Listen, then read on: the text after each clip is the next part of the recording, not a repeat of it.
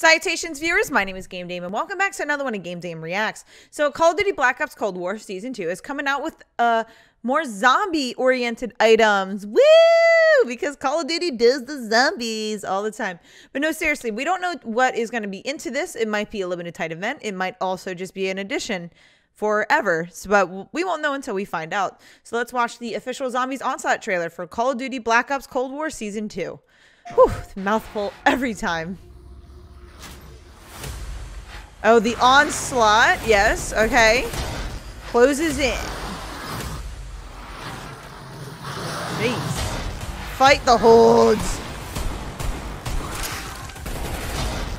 On gunfight. What is it? Teams? I think it said. Oh, shit. That's a big old boy.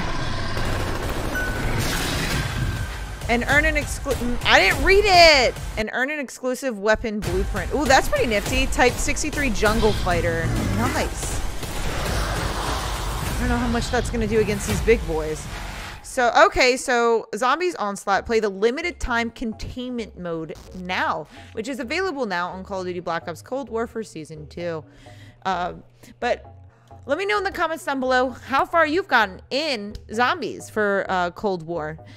But that is all the time I have for you guys today. Thank you guys so much for watching. I highly appreciate your time as always. But please do not forget to subscribe and follow not only to my YouTube but to my Twitch.